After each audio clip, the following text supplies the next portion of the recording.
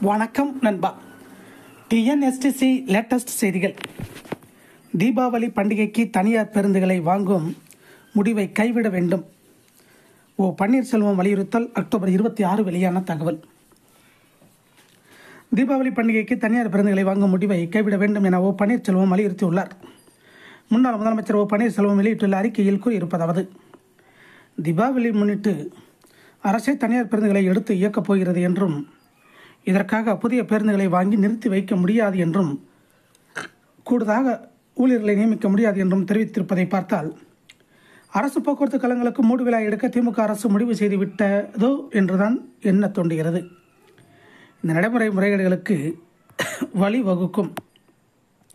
மேலும் திமுக அரசு நிர்வாக திறமையின்மைக்கு இதைவிட ஒரு சிறந்த எடுத்துக்காட்டு இருக்க முடியாது. இது அரசு போக்குவரத்து கழகங்களை நீர்த்து போகச் செய்யும் ஒரு நடவடிக்கை.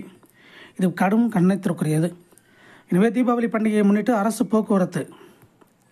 கழகங்கள் வசமுள்ள அனைத்து பேருந்துகளையும் முழு வீச்சில் இயக்கி மக்களின் உயிருக்கு உத்தரவாதம் அளிக்க வேண்டும் என்றும் தனியார் பேருந்துகளில் வசூலிக்கும் கட்டணத்தை கட்டுப்படுத்த வேண்டும் அரசு போக்குவரத்து கழகங்களை தனியார் மயமாக்கும் போக்கினை கைவிட வேண்டும்.